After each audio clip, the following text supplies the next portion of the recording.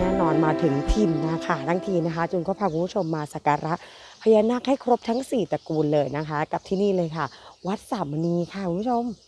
เดี๋ยวเราไปสักการะพร้อม ๆ กันค่ะไปค่ะ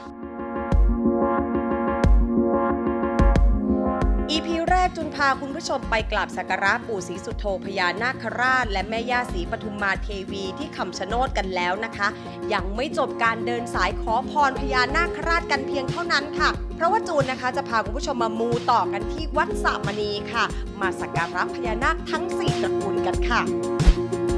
วัดสามณีตั้งอยู่ที่บ้านผักตบตำบลผักตบอำเภอหนองหานจังหวัดอุดรธานีค่ะ ก่อตั้งขึ้นเมื่อปี พศ 2538 คนเฒ่าคนแก่แถวนั้นนะคะ ก็เล่าต่อกันมาว่าสระน้ำในวัดสามณีเนี่ยมีลูกแก้วลอยขึ้นมาในสระมีแสงเปล่งประกายสวยงามมาก จึงเป็นที่มาของคำว่าสามณีค่ะ แต่เดิมนะคะมีชื่อเรียกจากชาวบ้านว่าวัดสามณีโชตนะคะ นานวันเข้าคำว่าโชตก็หายไป จึงกลายเป็นเหลือเพียงแค่วัดสมณีอย่างเช่นในปัจจุบันค่ะ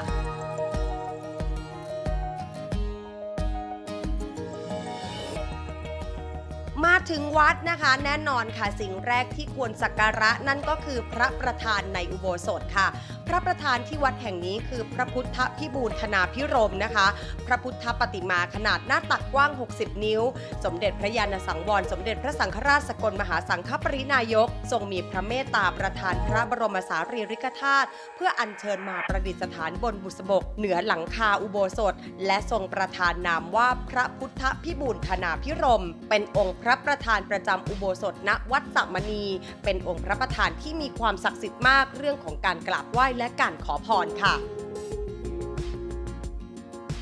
หลังจากกราบสักการะพระประธานในอุโบสถเพื่อเสริมสิริมงคลกันแล้วนะคะ เราก็มากันที่ไฮไลท์เลยค่ะพญานาคทั้ง 4 ตระกูลค่ะพญานาคทั้ง 4 ตระกูลที่ถูกสร้างไว้พิทักษ์รอบโบสถ์นะคะ ก็มีอยู่ทุกด้านมีดังนี้ค่ะ หนึ่งนะคะพญาวิรูปักษ์นาคราช ซึ่งท่านก็ยังเป็นหนึ่งในเท้าจตุโลกบาลทั้ง 4 ผู้ปกครองด้านทิศตะวันตกนะคะ และเป็นเทพเจ้าแห่งนาคทั้งปวง เป็นพญานาคราชในตระกูลเกล็ดสีทอง เป็นนาคขั้นสูงสุด มากด้วยอิทธิฤทธิ์และบุญบารมี ถูกจัดอยู่ในชั้นเทพ อาศัยอยู่ในทิพย์วิมาน อีกทั้งยังเป็นชนชั้นปกครองที่คอยปกครองนาคทั้งหลายค่ะ กูลที่ 2 นะคะพญาเอราปะทะนาคราช หรือพญานาคตระกูลที่มีผิวกายหรือเกล็ดเป็นสีเขียว ถือว่าเป็นพญานาคชั้นสูงเช่นกันค่ะ มีขนาดใหญ่โตใกล้เคียงกับพญานาคตระกูลเกล็ดสีทอง อาศัยอยู่เมืองบาดาลไม่ลึกมาก เป็นตระกูลที่พบได้มากที่สุด และใกล้ชิดมนุษย์มากที่สุด จนเกิดเป็นตำนานรักมากมายกับเหล่ามนุษย์นะคะ พญานาคในตระกูลนี้ที่รู้จักกันดีนะคะ นั่นก็คือพญาศรีสุดโธนาคราช แห่งเวียงวังนาคินคำชะโนดนั่นเองค่ะ ตระกูลถัดมาค่ะ คือพญาฉับพญาปุตตานาคราช หรือพญานาคตระกูลที่มีผิวกายหรือเกล็ดเป็นสีรุง้ง อาศัยอยู่นครบาดาลหรือป่าลึกนะคะ เป็นพญานาคที่มีความงดงามมาก เพราะมักจะมีเกล็ดเลื่อมหลากหลายสีนะคะ สวยงามเหมือนสีรุง้ง มีอิทธิฤทธิ์มากแต่พบได้ยาก เพราะมักอาศัยอยู่ในที่ลึกลับค่ะ ตระกูลสุดท้ายตระกูลทีสี่ 4 นะคะพญากันหาโคตมะนาคราช พญานาคตระกูลที่มีผิวกายหรือเกล็ดเป็นสีดำนิน มักมีร่างกายกำยำบึกบึน แม้ไม่ถือว่าเป็นนาคชั้นสูง แต่ก็มีอำนาจและอิทธิฤทธิปาฏิหาริย์ไม่แพ้ตระกูลอื่นๆนะคะ พบได้ยากชอบอาศัยอยู่ในท้องน้ำลึกที่เร้นลับ มักจะมีหน้าที่เฝ้าสมบัติของเมืองบาดาล และแม้จะเกิดในตระกูลที่ต่ำกว่าตระกูลอื่น ๆ แต่หากมันบำเพ็ญเพียรจนมากยานบารมีก็สามารถเป็นพญานาคชั้นปกครองได้เช่นกันนะคะ พญานาคในตระกูลนี้ที่รู้จักกันดีนะคะก็คือองค์ดำแสนสิริจันทรานาคราช กษัตริย์นาคราชยอดนักรบแห่งเมืองบาดาลนั่นเองค่ะ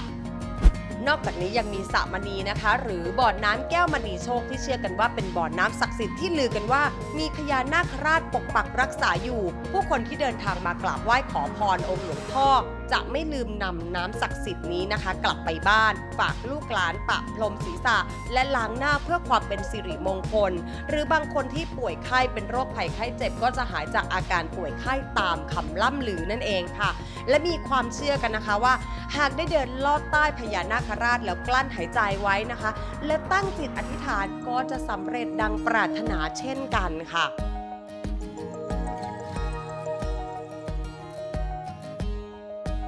อีกหนึ่งสิ่งศักดิ์สิทธิ์ที่ไม่ควรพลาดในการขอพรนะคะ นั่นก็คือองค์ปู่โคตรศักดิ์สิทธิ์แห่งวัดสามมณีค่ะ ซึ่งเป็นพระพุทธรูปเก่าแก่โบราณประจำวัดสามมณี ที่เชื่อว่าท่านมีความศักดิ์สิทธิ์เป็นอย่างมาก อธิษฐานขอพรสิ่งใดจะได้ตามปรารถนาในสิ่งนั้น นอกจากนี้ภายในวัดสามมณียังมีสิ่งเคารพสักการะอีกจำนวนมากนะคะ นอกจากพญานาคทั้ง4ตระกูลแล้ว ยังมีเท้าจตุโลกบาล พระพรหมและพระพิคเนตให้ผู้ที่เดินทางมาได้สักการะบูชาอีกด้วยนะคะ ก็ว่ากันว่าการมาขอพรที่วัดแห่งนี้นะคะ ก็จะสมปรารถนาดังใจหวังจนต้องกลับมาอีกครั้งเลยล่ะค่ะ